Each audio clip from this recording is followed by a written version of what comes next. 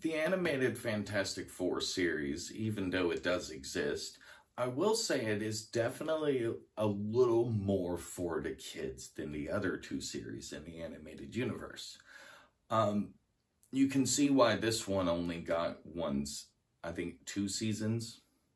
Um, no, I believe it was one season, but really long, like 20 something episodes.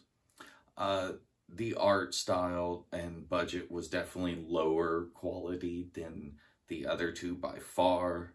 Um, it seemed like it was more behind at times with current trends than the uh, other two series were. They seemed very much more different versions of the 90s. Uh, this series kind of seemed more still like a holdover from some of the 80s style. Uh, it's not bad. It's just not as action packed and interesting and as mature of a story as the other two.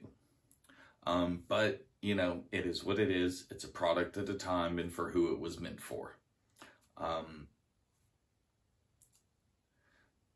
don't really have much else I can say about it. Um, it does do a better justice for him than some of the Fox Universe stuff did, especially the second go round and the um, the second movie in the original go round. It uh, it makes that look good, but those movies. Mm, we're hoping Disney gives us something much better than not only this animation, but the Foxverse movies.